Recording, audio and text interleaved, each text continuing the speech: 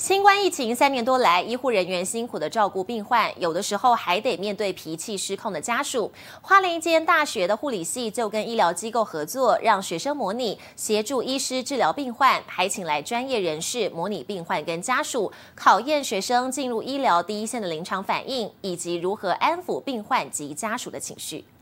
老婆怎么了？我老婆怎么了？现在激动，好像像你。病患家属情绪激动，抓着医疗人员的手不停晃动。多安抚那个的老婆。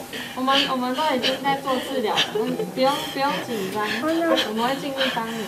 护理师协助医生治疗，还要一边安抚病患及家属，让他们放松心情。不过这场景其实是模拟演练。花莲一间大学与在地医院合作，把学生的护理实习带入模拟情境。这个教案的部分，大多数都是。希望我们可以去感受，就是当病人就是很绝望，然后家属情绪也很高涨的情况之下，我们身为护理人员可以做出什么样的处置？重症情境演练课程找来护理系三四年级学生和医疗新进护理人员一同参与模拟治疗，在不同病况的病患中，如何将教学知识转化作临床技能？